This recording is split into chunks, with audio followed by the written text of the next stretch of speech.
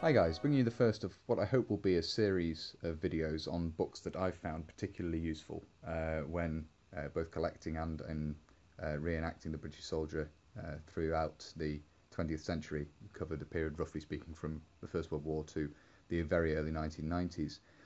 Uh, this is British Army Uniforms and Insignia of World War II by Brian L. Davis. Uh, probably many of you who are involved, you know, who watch my videos will know of this book already it's uh, colloquially known as the Bible amongst the uh, uh, reenacting in the Second World War reenacting world and, and, collecting world. To it certainly fits that title well. It's an excellent reference book um, if you're looking for um, information on the British Army in this period. It covers badges and insignia uh, through to um, specialist uh, clothing. Obviously, still in, on insignia and badges here. The front front part of the book is primarily on on uh, insignia and so on. Um, but towards the back we get on to uh, specialist clothing, so overalls and things like this, kilt aprons and so on. Moving through here, let's have a look. The badges there, helmet puggaree badges and things like that. Some information on anti-gas equipment. Um, it really is an excellent uh, reference book. Um, a lot of it comes directly from regulations uh, and has dates and so forth regarding uh, the introductions of uh, various different pieces of uniform, obviously the helmet design changed during the war and so on. Uh, it really is an excellent reference book. Um, it covers, not only does it cover the period of the Second World War, it covers some of the period beforehand, and uh, it also covers some things which are applicable to post-war as well. One part of the book, if I can find it, which I might be able to, I've had it open at the page recently. This is the page I was looking for. Um, because I've obviously, as I say, I'm working on a video. I will be producing a video on uh, the Argyll and Sutherland Highlanders in Aden um, to make sure you have the correct Glengarry. This is an example of the detail that can be found in this book. You have a coloured field, uh, coloured field service caps Glengarry pattern, and it tells you for each regiment uh, of the period, which obviously many of them were still in existence after the war, through into the 60s or in some cases through to the 90s with mergers and so on.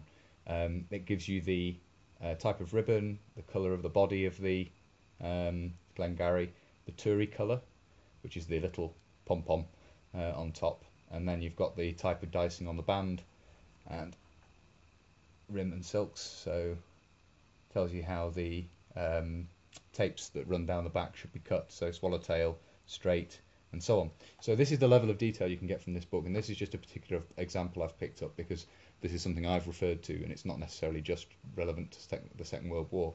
Um, there's also a section in the back on the Home Guard, uh, which I will find here, and it goes into details on identity discs and, and HUSIFs and things like this as well. So it really does cover a huge amount. Um, there's the section on the Home Guard. Let's find here. Uh, so you've got a section on Home Guard insignia and things as well. Um, it really is an excellent, detailed overview of the uniforms, insignia, and equipment of the British Army in the Second World War. Uh, as I say, it has a lot of dates, specific dates of when things changed. So if you're looking to do a, a specific, uh, cover a specific period during the war, the book will often provide the answer for you. Um, can't recommend it highly enough if you're getting into reenacting or you're wanting to improve the quality and accuracy of your, uh, you know, the, the equipment you use and the uniform you wear and so on. Um, definitely recommend getting this. Price wise, you're looking to pay probably £30 for these if you want to buy it now. There's uh, I've seen eBay listings, buy it now for that sort of price. If you want to pay, if you want one immediately and you, you want a reliable supply, they're available on Amazon for about £40, £45. Um, the you can pick them up for much more cheaply than that. I've seen eBay auctions sell for much less, more like ten pounds with with delivery. Um, so just keep an eye out if, if you're not pressed for time in getting one. Uh, keep an eye out on, on auction sites and things like that for these or second-hand book stalls and things rather than buying online. Uh, but definitely a worthwhile purchase. Uh, very, very much a good uh, first uh, point of in, uh, first point of looking for information if you want it. It will probably be in here somewhere.